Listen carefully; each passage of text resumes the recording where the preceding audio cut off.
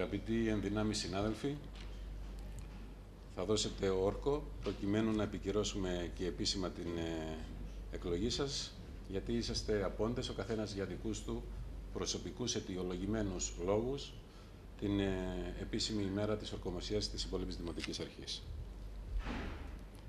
Ορκίζομαι να είμαι πιστός στην πατρίδα, Ορκίζομαι να είμαι πιστός στην πατρίδα, να υπακούω στο Σύνταγμα Να και στους υπα- νόμους να υπακούω στο Σύνταγμα και στους νόμους και να εκπληρώνω τίμια και να εκπληρώνω τίμια και ευσυνείδητα και ευσυνείδητα τα καθήκοντά μου. τα καθήκοντά μου. Καλορίζικη, καλή δύναμη σας Ευχαριστούμε εύχομαι πολύ. και καλή Ευχαριστούμε πολύ. συνεργασία Να σε είστε όλους. καλά. Επίσης καλή δύναμη. Καλή δύναμη.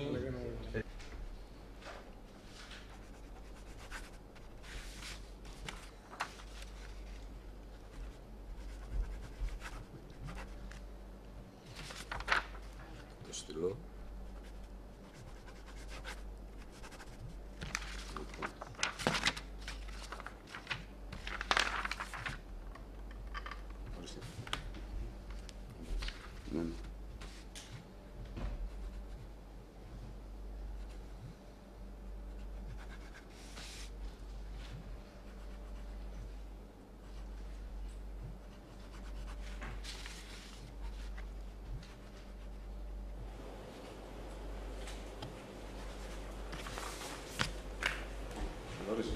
questo volevo Calina questo